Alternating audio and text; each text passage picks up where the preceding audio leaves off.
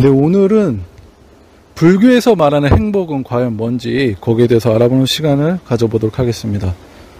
어, 여러분 행복하면 어떤 게 떠오르시나요? 자기가 원하는 어떤 목표가 성취됐을 때 우리는 행복감을 느낄까요? 원하던 직장에 취직하고 원하던 차를 사고 원하던 집을 사고 원하던 여인과 결혼을 하고 이렇게 하면 우리는 행복감을 느낄 수 있을까요? 또 자식이 원하던 대학에 들어가고 원하던 직장에 취직했을 때 이런 것이 행복일까요? 부처님께서도 이런 부분에 대해서 중요성을 말씀하십니다. 어, 돈 버는 거 중요하고 돈을 열심히 벌어라. 부자가 되라. 이런 말씀도 하시지만 부자가 되고 잘 먹고 잘 살고 이런 거는 이 불법의 관점으로 봤을 때는 가장 낮은 수준의 행복이라는 거예요.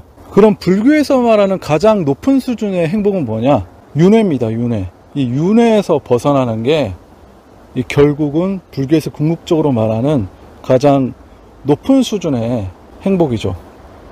여러분들께서 불교 강의를 듣는데 뭐 고진멸도 사성제 얘기가 없다든지 윤회 얘기가 빠져 있다면은 그것은 불법이 맞는지 한번 의심해 볼 필요가 있습니다. 이 예수교인들이 구원받는 걸 엄청나게 중요시 하잖아요.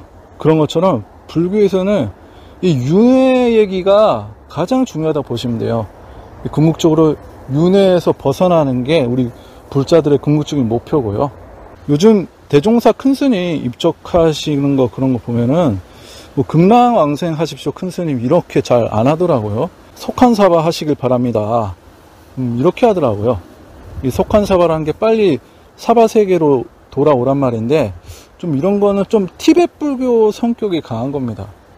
계속 이 보살로 계속 환생을 계속 해서 중생을 구제해달란 말인데요. 어쨌거나 이 중생을 구제하는 것도 좋지만 이 불교의 궁극적인 목표는 이 윤회에서 벗어나는 것이라는 것을 여러분들이 잘 알아두셨으면 좋겠습니다. 네, 이번 강의 여기까지고요. 저는 다음에 또 유익한 강의로 찾아뵙겠습니다.